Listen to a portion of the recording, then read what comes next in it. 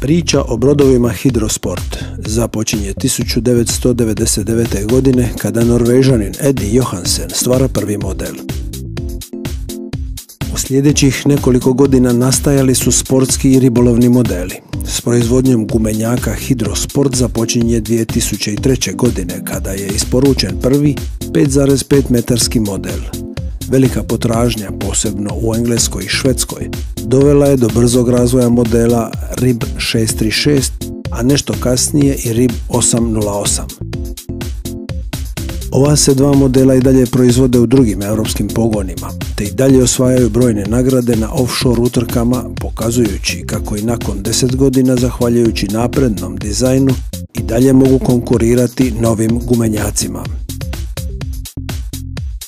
Nova era za hidrosport započinje 2009. godine kada je predstavljena potpuno nova gama plovila. Primjenjujući uspješne formule iz prošlosti uz korištenje današnjih tehnologija i osluškivanje želja kupaca, novi gumenjaci Hidrosport pokazuju kakvoj izradi gumenjaka treba težiti. Kao rezultat Hidrosport gumenjaci troše 15 do 30% manje goriva pri jednakoj brzini u odnosu na klasične gumenjake. Trenutno se u ponudi nalazi pet modela Hidrosport gumenjaka. Coach Rib duljine 5.65, zatim 6.46, 7.35, 9.09 i Rib 11.11.